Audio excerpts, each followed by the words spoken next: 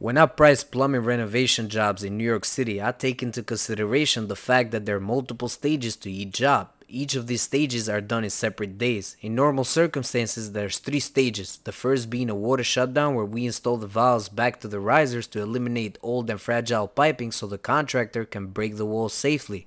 Then, after the demo and reframing of the walls comes the roughing stage where we lay the pipes, and the last stage is the installation of the finishes. Over here, the contractor wanted us to do the shutdown and roughing in the same day. At first, I didn't like the idea of using the old existing metal framing, but then I thought about the fact that that would actually save me a day we would only need two days to complete this three day project, which technically means a 33% blessing. So I immediately stopped arguing with him about him being a cheap ass and not reframing with proper studs. Although new framing would have made my job easier, one last day in that project increased the profit. So I took the win and got the fuck out of there before he changed his mind.